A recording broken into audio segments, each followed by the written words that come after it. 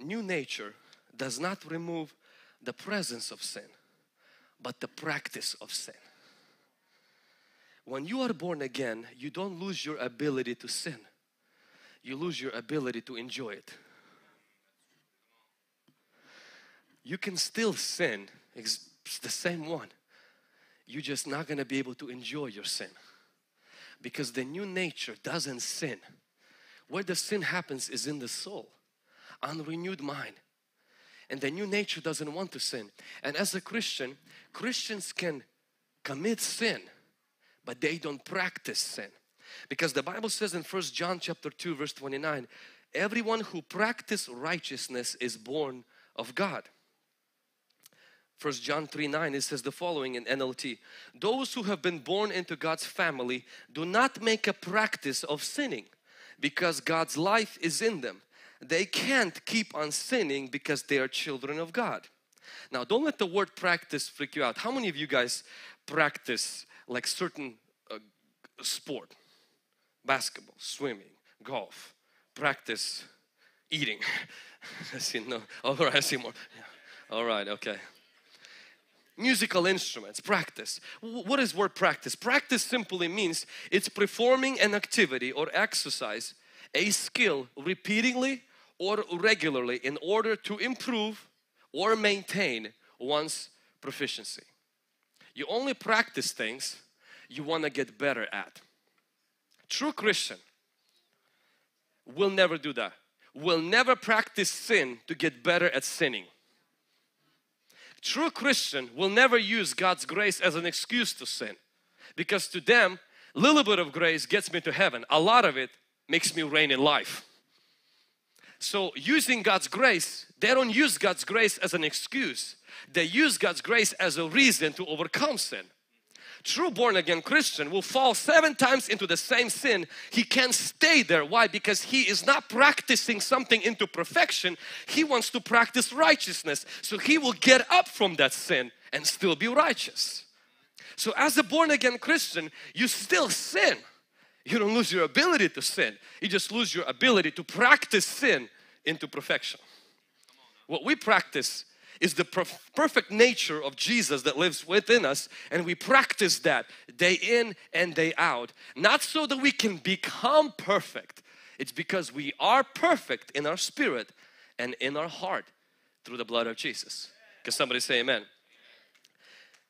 Uh, Matthew chapter 7 verse 21 it uses this verse not everyone who says to me Lord Lord shall enter the kingdom of heaven but he who does the will of my father in heaven I will be very honest with you. When I was younger, and this verse was preached in the church, I was getting saved every time this verse was preached. Because the preachers usually, preachers are really good at taking scriptures out of the context. And so they would take this verse and right after that they would give a call to salvation. If you call on the name of the Lord but you don't do the will of the Father. I'm like, this week there was one day I didn't do the will of the Father. And then it says over there, you will not go into kingdom of heaven. I was like, man, that's me. I didn't even wait for call. I was like, Lord Jesus, please forgive me. I didn't believe in this, but I did it just in case.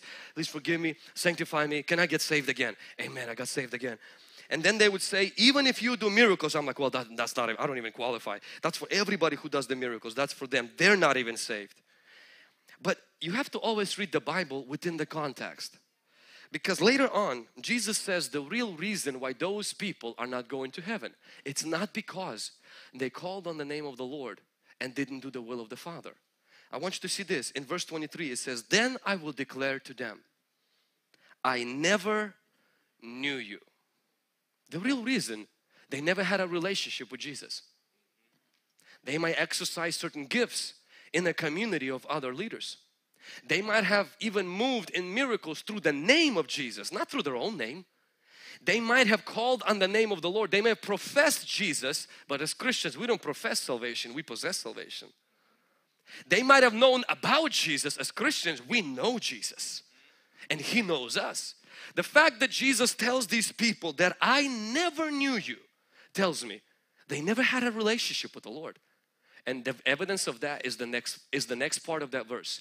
I never knew you. Depart from me, you who practice lawlessness. What is the sign that they were never born again? they practiced not righteousness, lawlessness. They practiced to perfection sin, lying, stealing. But the root wasn't the fact that they sinned. That's not the problem. The problem is they never knew Him. And because they never had a relationship, they couldn't help but practice sin. Because when you have a relationship, when you're born of God, you will fall into sin. You will struggle with sin. You will commit sin. You just don't practice sin. Because you practice something else. You practice righteousness because you have a new nature.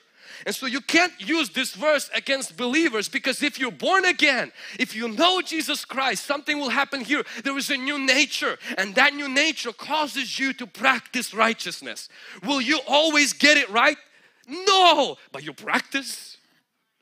That's how you learn to ride a bike. That's how you learn to speak. That's how you learn to walk. You practiced it. But you know why it was possible for you to practice and learn it? Because it was within your nature.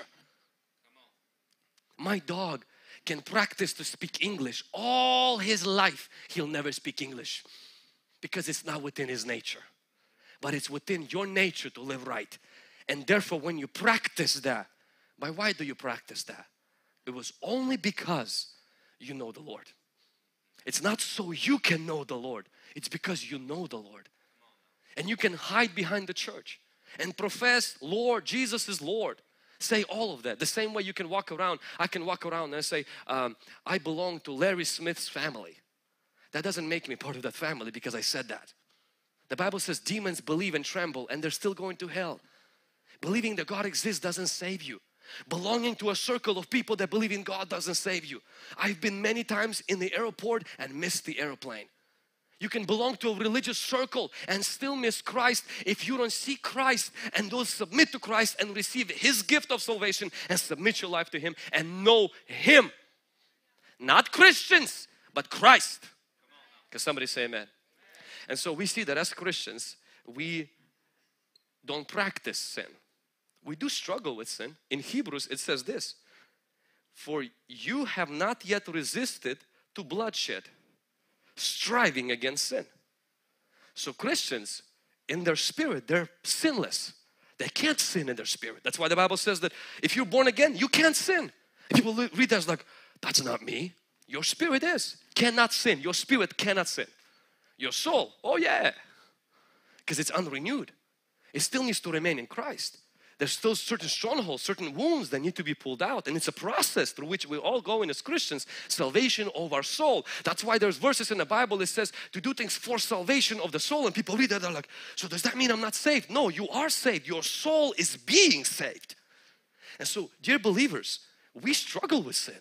Sometimes the struggle is so severe. The Bible says till bloodshed. Have you seen people struggle with drugs who are born again? Till bloodshed. You've seen people struggle with smoking? Sometimes the, the struggle is real, hashtag. And some people even die in that struggle. Have you seen people struggle with depression?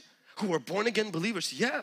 And so to say that just because you struggle with sin, you're not born again is not against the Bible because he's writing to the Christians and says that sometimes in our soul we can struggle still. And that's okay. That's why we have brothers and sisters. That's why we have healing deliverance. That's why we have the teaching of God's word so that we can overcome sin. We have abundance of grace so we can reign in life. Grace doesn't give us excuse to live in sin. A born again Christian will not look to grace to live in sin. They will look for a reason to overcome their sin